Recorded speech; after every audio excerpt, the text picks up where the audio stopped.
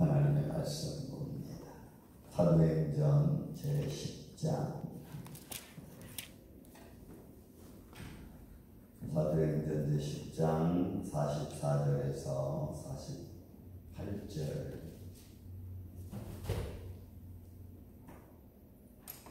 말씀을 교독합니다. 베드로가 이 말을 할 때에 성령이 말씀 듣는 모든 사람에게 내려오시니 베드로와 함께한 할례 받은 신자들이 이방인들에게도 성령 부어 주심으로 말미암아 놀라니 이는 방언을 말하며 하나님 높임을 들음이로라. 이에 베드로가 이르되 이 사람들이 우리와 같이 성령을 받았으니 누가 능히 물로 세례 베품을 금하리요 하고 명하여 예수 그리스도의 이름으로 세례를 베풀라 하니라. 그들이 베드로에게 며칠 더 머물기를 청하니라. 아멘. 초대교회의 복음의 역사, 복음의 현장입니다. 말씀을 전하는 사도들을 중심으로 해서 성령의 충만함을 입은 하나님의 사람들의 삶의 모습입니다. 자, 오늘 그 말씀을 고넬로 가족에서 말씀을 전하고 그 말씀 속에서 나타났던 현장입니다. 여러분 43절에 보니까 그에 대하여 모든 선지자도 증언하되 그를 믿는 사람들이 다 그의 이름을 힘입어 죄 사함을 받았다 하였느니라. 그 이름을 힘입어 죄 사함이라고 하는 것이 그들의 삶 속에 주시는 새로운 복음의 평안이죠. 여러분 우리가 알다시피 죄 사함이라는 말을 우리가 이해하기 쉽지 않습니다. 당신의 죄가 예수 이름으로 사해졌습니다.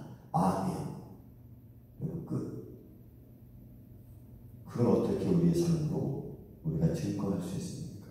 어떻게 우리가 알 수 있습니까?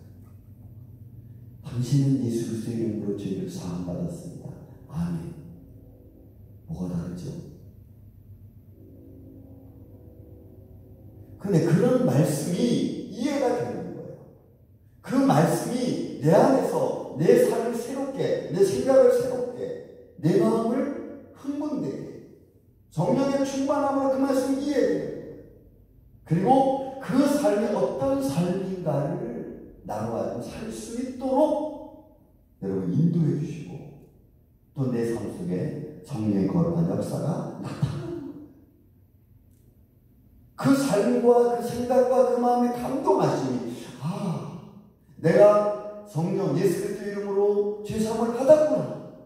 아 내가 예수 그리스도 이름으로 내가 하나님의 자녀가 되었구나. 라고 하는 마음의 확신이 내 안에 자리 잡게 되는 거예요. 이거는 설명하기가 또한 쉽지 않습니다.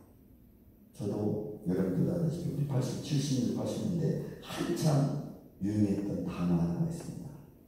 당신은 구원받았습니까?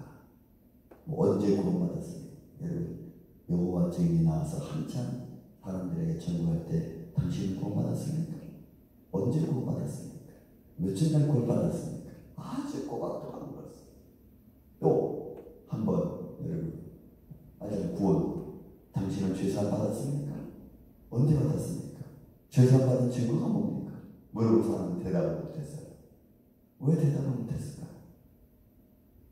저는 그 질문 받으면서 아 이게 뭐가 다른 거지? 당신은 예수 그리스도 이름으로 죄사함 받았습니다. 아멘.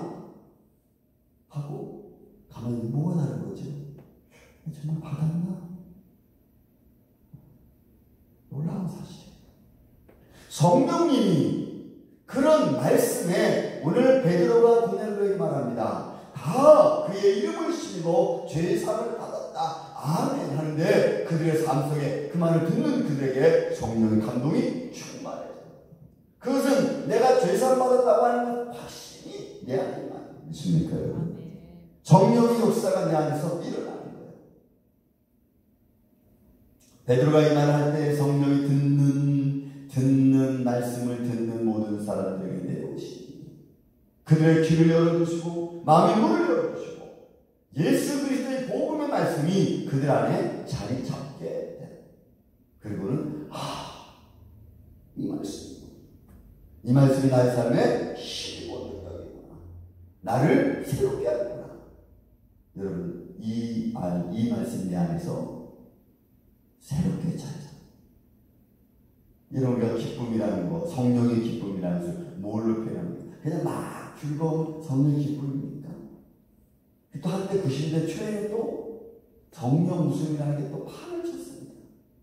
제가 한국에서 인천에 목회하고 있는데 제 친구가 야 이런 이런 분인데 한번 집에 한번 해봐. 뭔데? 성령의 웃음이래. 그게 뭔데? 아, 말씀 전하면서 막 웃는다는 거예요. 그래서 말씀 안 전해도? 네, 그랬어. 대답이 벌써 딱 멈췄어. 야, 그럼 말씀 전할 때는 마음 웃고 말씀 안 전할 때는 안 웃어? 성령의 웃음이 그런 거야? 그렇게 물어봤어. 저기 정세가 어, 정말 그러네. 여러분 성령의 충만함은 애니타임 여러분 믿습니까? 시간을 막느라고 상황을 막느라고 내 마음에 저 성령의 복음의 기쁨이 있는 거죠. 그러나 내가 말씀을 믿고 말씀이 내게 주시는 큰 은혜는 환경에 지배받지 않는 믿음과 기쁨과 마음이죠. 제 유튜브에 유튜브가 아니라 페이스북에 우리 아들이 글을 하나 썼어요. 저는 그, 그 뭐라고 썼냐면 영어 쪽사인데 해서 이 남자는 로드 스윗이라고 쓰니까 열정적인 피고 이런 거겠죠. 완 피와 열정과 눈물로 밤낮을 쉬지 않고 일을 해서 교회를 믿었다. 그리고 한 말이 이 사람에게는 이 사람은 어떤 것도 못할 일이 없다. 이렇게 써놨어. 그를 다른 목사님이 보고 또 저한테 전화했어. 이게 어떤 일이냐면 아버지에 대한 뭐랄까요? 뭐 존경, 아, 이분은 뭐든지 할 수 있는 사람이구나 라고 하는 어떤 의미. 그래서 Thank you. Sir. 여러분 하나님은 못할 분이 없는 분이십니다. 믿습니까? 모든 사람의 마음을 다 오픈시킬 수 있어요. 그리고 그들을 통해 anytime 하나님은 역사하십니다. 그걸 내가 마음으로 확신하고 믿는 것 이게 성령의 역사죠.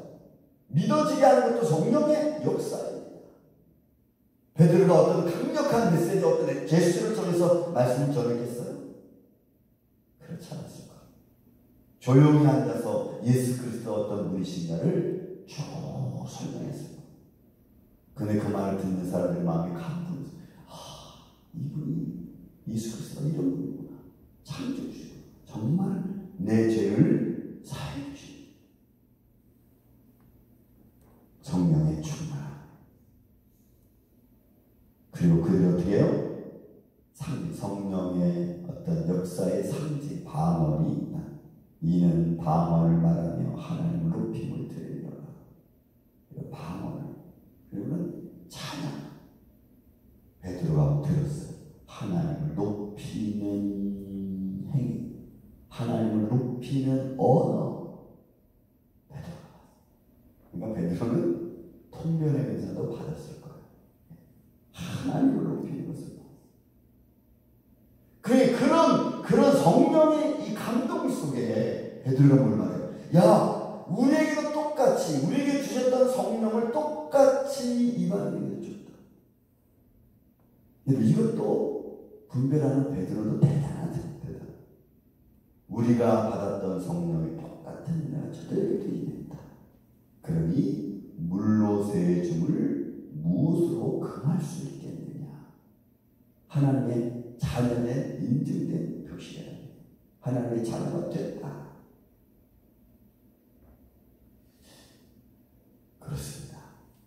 예수 그리스도 그 이름 자체가 능력이고 그 이름이 신이고 그 이름이 변화인 줄로 믿습니다. 예수의 이름이 변화. 그래서 그 이름이 우리를 새롭게 하는 거죠. 그 이름 안에 성령의 충만함이 있는 거죠. 그래서 그 이름을 믿고 오늘도 우리는 달려.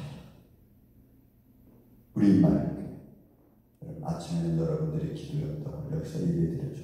또 저녁에는 저녁 기도 팀들이 와서 또 기도합니다. 교회 부흥을 위해서 성령의 충만함을 위해서 여러분 이거 기도하세요. 살아계신 하나님을 증거하는 교회 되달라고 여러분 기도하세요. 그리고 성령의 충만한 교회가 되달라고 여러분 기도하세요. 이 시대는 정말 필요합니다. 이제는 성령의 충만한 교회가 돼요. 듣는 이들이 말씀을 들을 때 성령이 많고 말씀을 들을 때 기도가 표를 일어나고 그리고 기도할 때 찬양할 때 하나님의 영광이 임하는 이런 교회가 되겠다고 아멘. 우리 말을 전합니다.